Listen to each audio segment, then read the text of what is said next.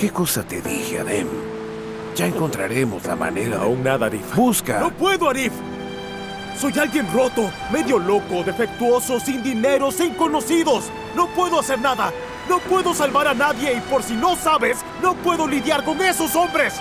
Con esa manera de pensar no puedes salvar a nadie, Adem. Solo te llevará a la muerte. Anoche, un desgraciado prepotente se me acercó y me preguntó cuánto valía. No pude responder. ¿Sabes por qué? Porque no valgo nada. Pero no es así. Escucha, Arif. ¿Tienes tijeras que me hagan como antes? No tienes. Siempre pienso. ¿Por qué me convertí en esto?